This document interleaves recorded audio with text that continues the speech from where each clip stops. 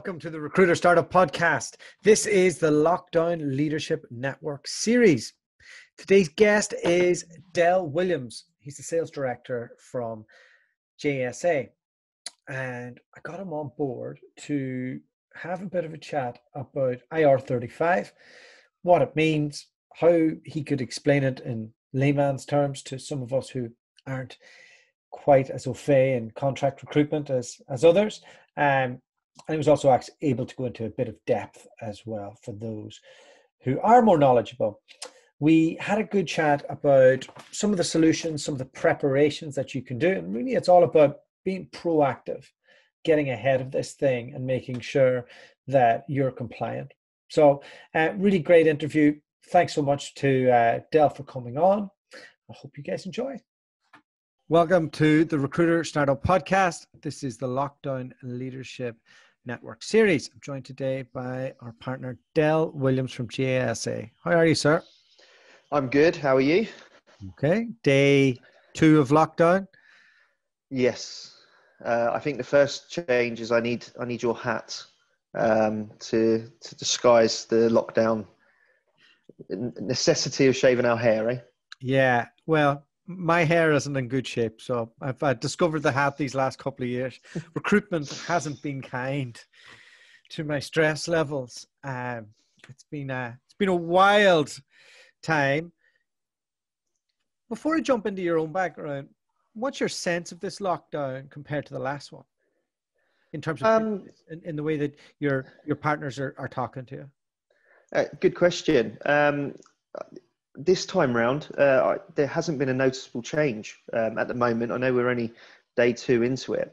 Um, however, I, I, think the recruitment agencies that we deal with, all of our partners, they adjusted really well during the initial lockdown um, and the working from home uh, stage uh, throughout the summer.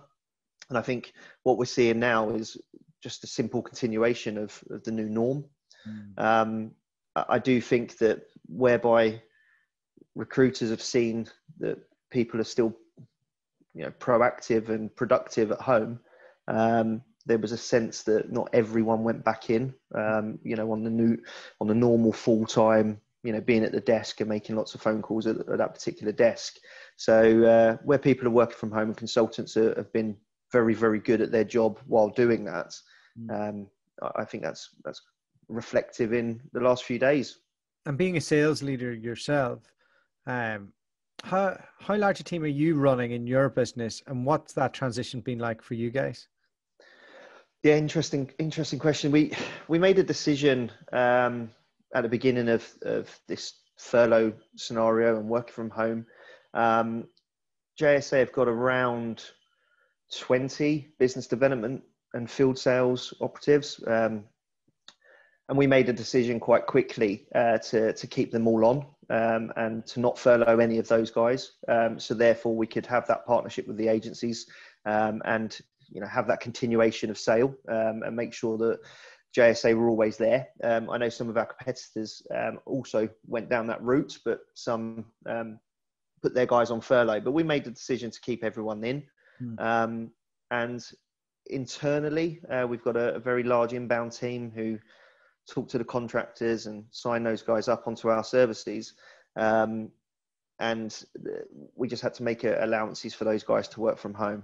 Um, but as, as a business, um, the, the front end, uh, we tended to keep um, active and proactive throughout the, the summer.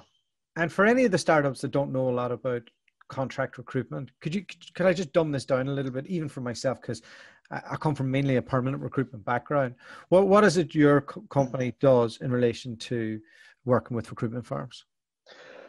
Um, essentially, or primary, uh, everything to do with payroll for those contractors. So, as and when um, a recruitment business places a contractor uh, into an end client, um, we'll take over all of the necessary um, payroll uh, solution or facilitations of um, getting that person uh, paid at the end of every week or at the end of every month. Um, as a group, JSA um, payroll up to 15,000 people on a weekly and monthly basis. So it's it's more to take away all of the payroll or workforce contingency um, administration, I guess, mm. from recruitment companies, so they can crack on and place people and carry on sourcing the right types of candidates for those particular contract roles. Um, and JSA step in and uh, ensure that the contractors are paid on time. So you hold the liability and the debt in return for a margin. Essentially, yeah, we we make sure that we um, receive funds, for instance, from either the end client or nine times out of ten the recruitment business. Yeah. Um, we employ that particular contractor to ensure the contractor has employment rights and benefits, mm. um, and we uh, ensure that the correct taxes are collected and passed on to HMRC. That sounds like a lot. I would. Uh, I'd not like to be doing that as a small business for myself. What yeah. what percentage would you say? Do do most people use uh, you or one of your competitors when they're when they're running their contractors? Yeah, I, I would I would suggest that's that's the norm um, in our field. Um, so we've got uh, you know there's there's hundreds of umbrella companies out there. Um, there's some very very good ones, of course. Um, so we've got a sort of like I would say 10 to 20 very large umbrella companies in our market space. Um, most recruitment companies would essentially have a preferred or approved list of those umbrella companies. Um, and as a business, around 90 to 95% of all of our contractors would have come via the recruitment company uh, that they're working through. Okay, interesting. And I suppose to get one up on your competitors, then you need to be more solution orientated in in, in, in what you're delivering to recruitment firms. Um, it probably leads me into asking a little bit about the shambles that is Brexit and IR35. So when the, the, I feel like both topics have been dragging mm-hmm. for a while. What was what what what was your initial strategy, and has that changed in recent times as things seem to change all the time? Yeah, I, I think Brexit Brexit's an easier one for payroll companies, I guess, to deal with in the sense that it's a consequence um, from the recruitment businesses. So recruitment companies will feel Brexit or, or see the impact a lot more than the payroll um, because essentially we would just see the either increase or decrease probably on the volume of contractors coming through to us because of the changes for Brexit. Mm. But as a, as a payroll organisation, um, there, there's certain areas such as visas, right to work, and um, the, the, intricacies of, of onboarding a particular contract if they've got anything to do with a foreign end client. Um, that might be a slight change for us or a hurdle but as a challenge it would probably be down to um, volume.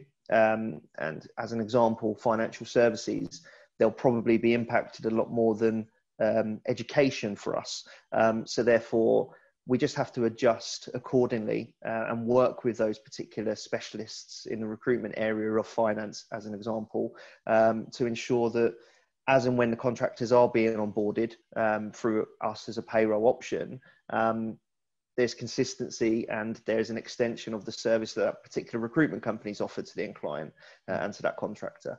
Um, but yeah, Brexit's a, a fairly simple one for us, other than the downside is if we speak to recruitment companies and you know ask where volume is or the anticipated amount of contractors coming through to us over the last year or two there's always been that uncertainty around brexit. And sometimes that's challenged budgets and it's challenged uh, end clients to go off and source some um, really good contractors. And that's obviously affected uh, the volume uh, relationship with that recruitment company. I, I, think we probably share a lot of clients um, and you know we've we've done lots of deals with XS3 owners who are scaling, um, and the one thing that seems to be clear is that since Brexit, there is a pivot towards trying to build an EU contract business. Mm-hmm. When they come to you with that, do you, do you have the facility for that, or do you have to use a partner to integrate to, to make that happen? Yeah, international international payroll's a lot more complicated than just your standard UK payroll. Um, so there aren't a lot of specialists for international payroll out there. So we we work with one or two uh, companies, but it's certainly something that JSA Group's looking into a lot more, um, and it will definitely be on the horizon over the next six to twelve months with our group. Mm. Um, at the moment, um, the, the the bigger questions are, you know, do we have someone that we could obviously refer that particular um, uh, recruitment company to. Um, but also on the flip side, it's the, the currency as well. So we're getting more and more requests at the moment, yeah. I guess, with regards to how is it going to work if someone's paid in euros, or how is it going to work if there is a um, a particular exchange rate at the time, or whatever it might be. So they're they're the nuances around currency and around international uh, workers that we're probably getting a few questions on now, um, leading up to the end of this year. And then I think you know through, throughout next year, the international markets something that, that's probably going to raise some more questions and, and raise some more opportunities for everyone it's it's a like I'm asking because this is the questions that are going off in the group right now. Like, uh, like if I'm if I'm if the guy's based in Germany, or mm-hmm. if the job's based in Germany, but he's now in Spain, we're in the UK. Yep. What do we do? like it, the, the whole world is like it's. I feel like the, the complexity of where people live to where people work to where the business is registered has mm. got very mangled since lockdown. So I'm uh, it, it must present you with the challenge to go, okay, how can I steer into this to create a solution that's a one-stop shop for us? And and and again, because of the because of various countries having various tax rules and various demands on on payroll, um, you know, three years ago it it wasn't simple. Um, it was it's super complicated, but there is an argument to suggest that if you just looked at it very black and white, you could just suggest that okay, you go off and you you look at an accountancy firm in Spain, mm. you franchise out almost this JSA group um, ethos, and you buy an accountancy firm or you partner with an accountancy firm in that particular country, um, and you essentially franchise out. Um, I think that's going to be much more difficult post Brexit. Um, so I think there's going to have to be a smarter solution, um, and and international payroll um, is going to just be a, a, slightly more complex on in an already yeah. super complex um, uh, industry. Yeah. So I, I think there's you know the partnerships that people will have when it comes to international payroll it's going to be super important for them to make sure that they've got the right people that can deliver the service as well as ensuring all the compliancy as well I know for a fact the only thing that'll matter to the agency owner is that they have one throat to choke. Yeah. That, that that's all you know that they, they the, the last thing that they like that they would want is okay well why don't you call our partner in this country and mm. then you can like you do that to somebody and they're they're out of there exactly so again you know and the great news for us as a business is because of the extent of and the size of our business um, i think that's where we could bottleneck quite quite yeah. uh, handily in comparison to some of um, you know the more independent international uh, guys. So as and when we're looking at that, that's definitely something that's going to be part and parcel of the solution that more than likely will offer at some point. All right, I'm going to put you on the spot. Um, explain IR 35 to me in 30 seconds in layman's terms. Uh, okay. So essentially, um, IR35 is the way uh, someone would be paid if working for a limited company, and it's a decision that someone has to make at the moment as a contractor, whether they're outside IR35, which essentially says um, I'm genuinely self-employed and therefore I want to get taxed that way. Contractor decides that at the moment, um, give or take um, public sector uh, changes a couple of years ago. Contractor decides it. However, from April, um, everyone within this chain uh, is fundamentally going to have to get involved. So an end client, um, nine times out of 10 now, will have to be aware of um, the limited company worker, whether that person should work inside or outside. They'll determine it. And then as a recruiter, if they're involved in that chain uh, and they're classed as something called a fee payer, um, they'll be legally responsible to ensure um, the correct tax is collected. So IR35 is essentially are you self employed or not? And can you prove it? Are you disguised? Um, and, and that's the test to show whether someone is genuine. All right. All of that went over my head. But if I have contractors and I've got a problem with this, how can you solve it for me? Because I don't I don't really want to worry about all of that. Like is there is there, is there any one stop solution? Mm-hmm. Like, what's going on here? Um, so again, over the last IR35 is the biggest topic for for yeah. payroll and for for recruiters probably um, until probably May June time next year. I would have thought. So on the agenda should be some preparation when it comes to IR35 for every single recruiter out there. So first things first, understand what it is. Um. Lots and lots of marketing material out there. Obviously, JSA have got an IR35 hub on our website to deliver a lot of information, a lot of key information, um, a lot better than a, a 30 second uh, rant from Del Williams. It's good though. Um, no, we'll, we'll get there. I've, I've only been doing it for 12 years, so uh, ho- hopefully we should be all right. Yeah. Um, so there's lots and lots of information out there from us and our, our competitors. Um, really, really good stuff for people to get educated on. Um, they then need to st- start speaking to end clients. Recruiters definitely need to engage. It's a, you know, being a salesperson, it's a great sales opportunity to pick up the phone, reach out to the end clients, see how they're getting on, what their requirements will be over the next six months, um, but also talk about IR35 um, and ensure that that conversation is going ahead. Um, we've um, through an acquisition at the beginning of the year, um, we we acquired a, a different umbrella company, built build it into our group. Um, they had a very, very good tool or solution that was uh, sold uh, into a lot of recruitment companies who started using that particular workflow um, in order to liaise with end clients, go through a workflow in order to assess every single job role. Mhm. Um, to decide whether that was inside or outside IR35 in a much more comprehensive way um, than a finger in the air job or, Yeah. or uh, one of these blanket ban decisions that, that obviously we, we should avoid. It sounds so- a bit like blockchain. so, well, we've we've developed something. You know, that it's a, it's now um, moved on to sort of like our version two, as I call it. yeah. Um, it's a, a software uh solution that's cloud based. Um, the platform's very, very good. It's it looks user friendly in the sense that I can use it quite easily, um, and I can navigate through uh, the profile of it and the the workflow systems of it. Are are you the dummy test for for, for this stuff? Yeah, I think we JSA looked at making one of these yellow books. Yeah. Um, Is it Del proof? IR35 complete test for dummies, and then it just had a picture of me.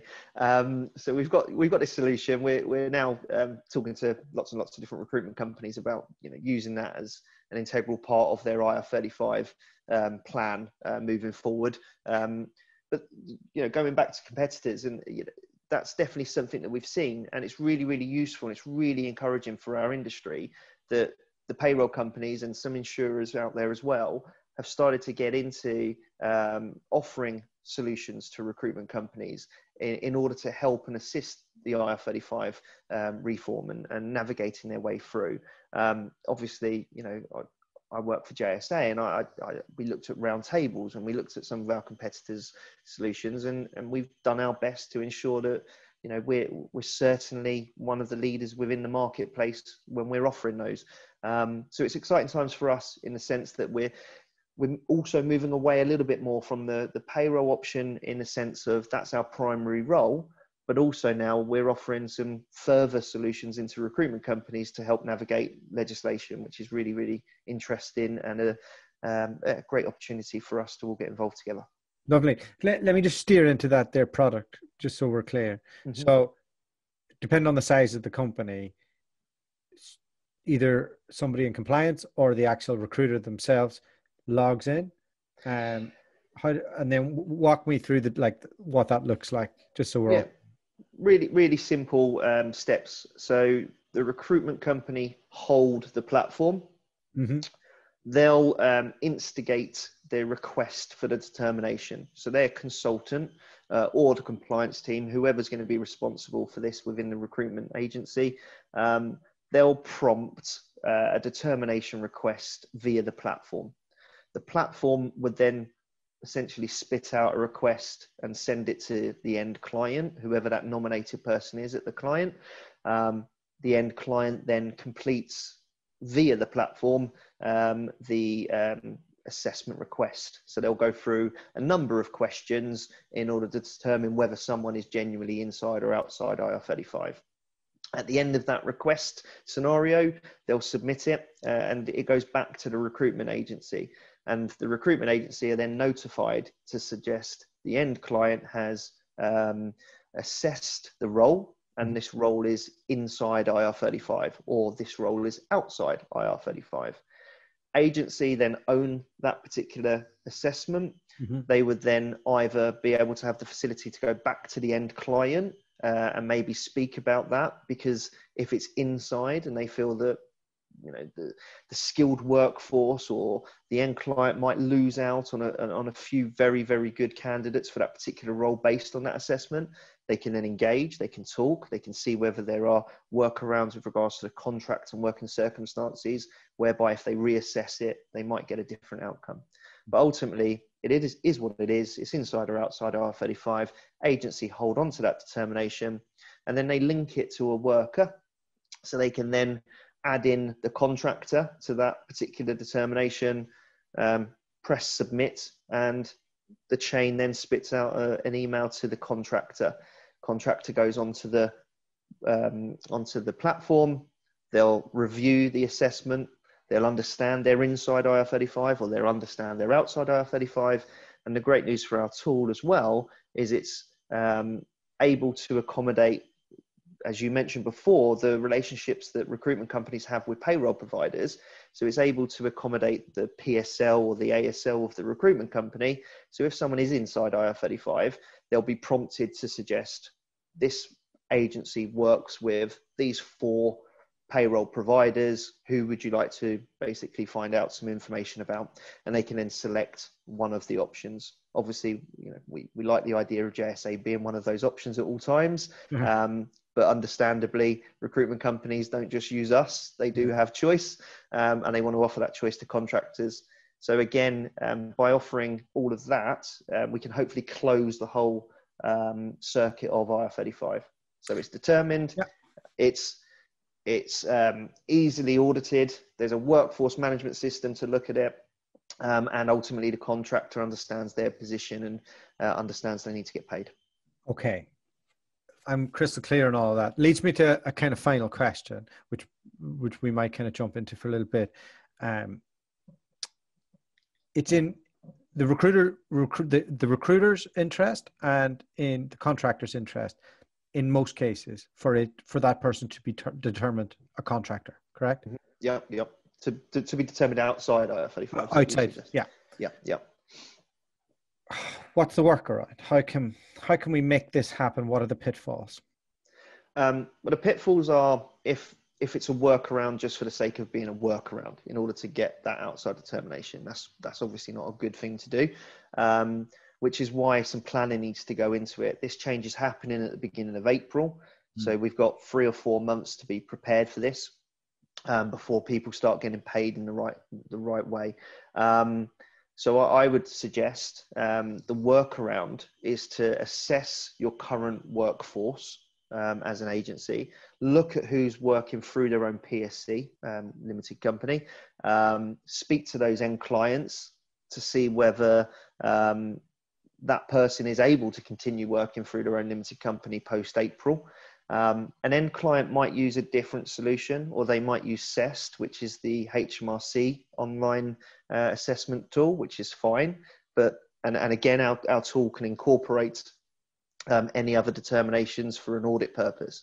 Um, but very, very quickly, um, recruitment companies should be speaking to end clients to assess the current workforce because the pitfall would be if they've got some really, really good contractors working at their um, their their offices and, and within their firms and businesses.